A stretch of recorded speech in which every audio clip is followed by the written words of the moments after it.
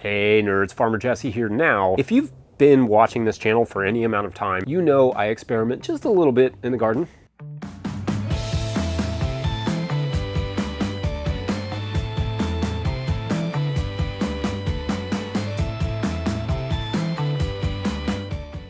And I talk about those experiments in these videos, but I don't always get a chance to fully follow up on them. So today I'm going to talk about things like how the static aerated compost system is going, how the chamomile in the pathways turned out.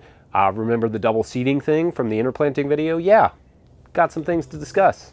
So let's do it.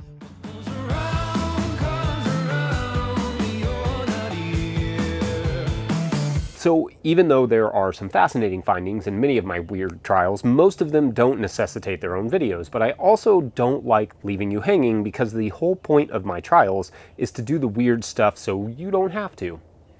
Where to start is difficult, but I'll start with one that I have not updated anyone on in any other video, which is the interplanting trial I discussed in this video here, where I was sowing lettuce and cilantro together in the same block. As the story goes, a couple years back, we accidentally seeded the same blocks with lettuce and fennel because unpelleted lettuce seeds are sneaky little guys, However, instead of throwing the blocks in the compost and starting over, and because we're nerds, we decided to go ahead and plant them and see what happens. Well, to our delight, we were able to get heads of lettuce and then two weeks later, bulbs of fennel. Now, neither were the largest versions of either crop, but I was encouraged to play around with the idea because whatever you can do in the greenhouse, like seeding two crops together, saves you time in the field. Uh, that said, I don't need much fennel for our market, so that combo wasn't super helpful. So this year we started trialing cilantro and dill and lettuce together because I can sell a boatload of each in the summer. Literally putting both the seeds inside the same block at the same time. And, well, the results were underwhelming.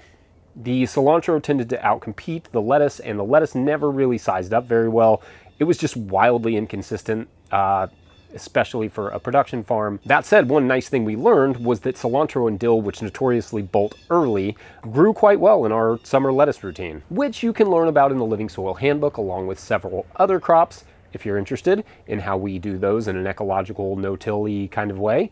Uh, pick that up at no-tillgrowers.com to support our work. Anyway, we started planting cilantro and dill around our lettuces instead of in the same block and got great yields on both all summer. Uh, now we just need more dill fans. Those are my people.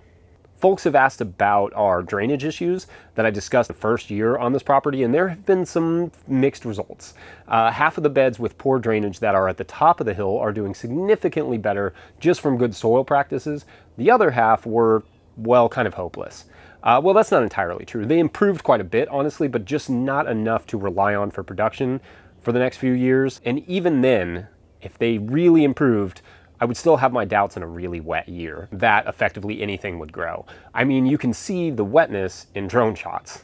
That's not great. It's kind of wild. So rather than fighting that year after year, this fall we took half of that plot entirely out of production and turned all the beds straight downhill. Now I've avoided turning beds downhill because I don't like the erosion potential, but with the living pathways, I don't worry about that quite as much as I used to. Um, hopefully that will help them drain better. I, I, should have done that to begin with, honestly, but I like learning the hard way, apparently. That, and I wanted to see how uh, effective our methods of soil improvement that I always talk about, like using cover crops and raised beds and all these things, would be in that scenario. For most of that plot, it went great, and the whole plot improved, but just not enough to achieve robust photosynthesis. So yeah, that's where we're at on that. Tomato grafting, that was also something that we played with quite a bit this year in the spring, um, as I described in this video. And we learned some interesting things. Uh, though it was a weird year to try and be learning anything, specifically because the smoke from the Canada fires landed right on top of us down here in Kentucky, and basically everything was two or more weeks behind, including our tunnel tomatoes. Then, for whatever reason, the tomatoes just did not perform well. Specifically, we saw early blight fairly early, if that's not too redundant of an observation, and we started to see the tomatoes go down. Well, the ungrafted tomatoes go down. Now, grafting is not supposed to impart leaf blight resistance to the scion, but we lost almost every one of our ungrafted plants by September while the grafted plants were still going. Because we lost so many ungrafted plants, measuring yield was kind of difficult, but overall, in those first few harvests at least, there was a considerable difference. The grafted were earlier to harvest, more robust, and more vigorous overall. If we had not grafted any plants, it would have been a terrible cherry tomato year, which is not great because that's a huge crop for us. So in terms of whether or not it was worth it, duh, yeah, like 100% worth it. That tunnel bed needs some TLC, obviously, and that loss from blight in the tunnel was massively disappointing. But I certainly feel like grafting was the right choice there, and I'm glad we did it. I will continue those trials in 2024. I suspect that the issue with the bed was that I was trying to use leaf mold compost that was just not entirely decomposed well enough. And when you couple that with compaction in that area that we've been fighting because it used to house horses, like literally there was a horse stable there, um, so anyway, when you couple it with that compaction in that area and the cool smoky spring, they just did not perform as I'd hoped. Next, I started playing with chamomile in the pathways a couple years back. Uh, for context, we maintain plants between our growing beds, which we call living pathways, uh, meaning the space between our beds is in a mixture of grasses and clovers and various other weeds and plants, etc. And we've done loads of videos on that. In the past, we've tried sowing different pathway crops uh, there intentionally, but in our climate, we just have too long of a season for that to really work. By the time summer is in full swing, nothing can keep the weeds suppressed for that long. But I wanted to give chamomile a try because I'd heard growers having some success, and so I gave it a shot. And honestly, it just never really took off. To be clear, I used Roman chamomile and not common chamomile, which grows far too tall. Roman is the creeping variety. Uh, I sowed it in the fall, and the germination was actually really good, just tossing it on the ground, but it was just too slow to establish in the spring and never really got going that well. You can kind of see it in a few of the photos, but ultimately it got overtaken fast enough that I was unable to really get much footage at all of it. And then by mid-spring, it had started to be overtaken by other plants in the pathways. Um, that said, where it was established was the greatest smelling experience of all time. I now sow Roman chamomile in our paths in the fall with the white clover that we sow, just, you know, to have a few nice whiffs of chamomile while we're harvesting. Calms me down a little bit, which is probably a good thing. Speaking of common chamomile, though, we did take the worst bed out of production this year in our poorly draining plot that I would basically consider unusable and sowed that to the common chamomile. Amazingly, the common chamomile was up for the task and grew luxuriously with big, beautiful white flowers loaded with insects. Unfortunately, I mostly wasted the flowers because I was not prepared for anything to succeed in that bed.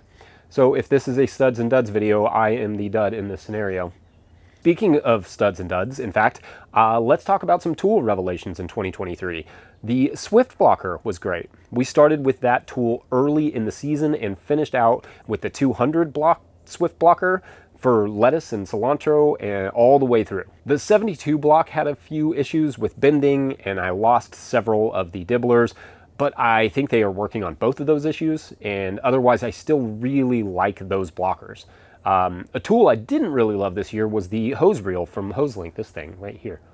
Technically it was fine, like it worked, I really like the quick detaching element and would happily have something like that on all of my hoses, but the reel was just a little too slow for me. Uh, by the middle of whatever month I installed it, I just wound up leaving it on the ground, leaving the hose just kind of on the ground, which was kind of the reason for getting a hose reel to begin with, was to keep it up. In a backyard situation or a non-production situation, this probably makes some sense, but it was just too time consuming for me to get the hose back in the reel uh, and the constant back tension made it awkward. So not exactly a dud, but a definite didn't fit my system tool. Otherwise, I didn't try that many more tools this year, weirdly. Uh, my style of market gardening just doesn't really require a whole heck of a lot of, you know, of tools to pull it off. I still have plans to change the root washing station up a bit and add a hose for bin washing, so there may be a little bit more of that next year's update video, or maybe the one in 2028. We'll have to wait and see.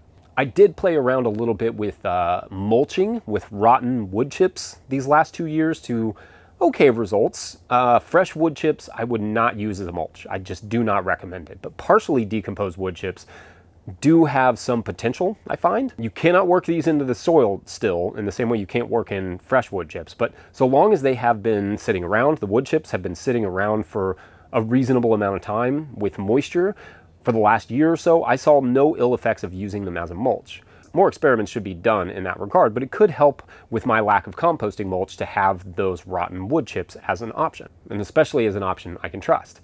Uh, the issue with using fresh wood chips on the bed surface is both nitrogen tie-up and potentially leaching from the chips. If you intend to do that, put a boatload of compost below the chips first. Yes, they will only tie up nitrogen where they are touching, but combined with the leaching element of things like tannins in the wood chips and the cooling effect of lightly colored mulches, they will likely arrest or stunt your growth considerably. I mean, your plant's growth. You know what I mean? It's not coffee or cigarettes or American cheese or whatever. Wood chips will just limit the plant's productivity and require you to space everything out quite a bit more. Now, the one weird trial I think that everyone wants an update on is the static aerated compost system uh, that I talk about in this video. How do I feel now after two seasons with this thing? And the answer is, meh. Here's the thing, the value of the static aerated compost pile is that it makes organic compliant compost very quickly.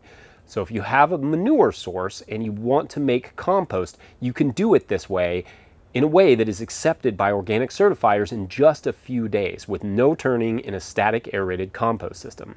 By contrast, you have to turn that same pile five times in a 15 day period if not static aerated, which indeed makes basically zero sense. But Them's the rules, and the static aerated system does not make particularly great compost, and the compost should be turned anyway to better mix and distribute temperatures and materials. But what it does is that it puts the turning process much more on my terms, meaning that I can turn it whenever the heck I have time to turn it instead of five times in a 15 day period and still consider it usable immediately for organic certification look up the 90 120 day rule and NOP regulations to better understand the regulations that I'm having to deal with for organic production and FSMA, which probably just sounds like a bunch of jargony gibberish if you're not a farmer. But all of that is really relevant if you're doing production agriculture in terms of selling fresh produce.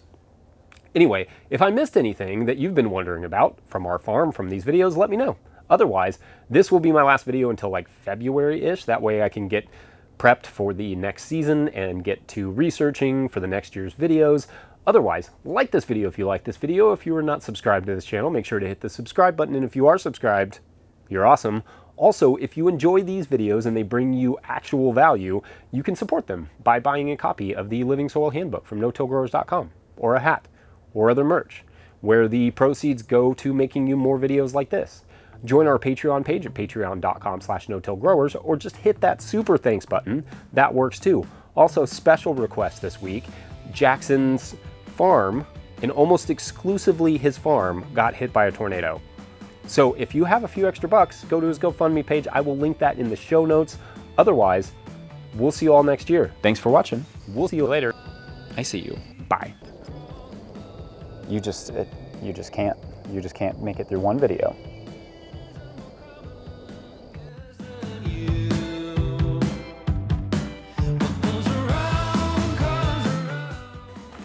in focus. One wonders.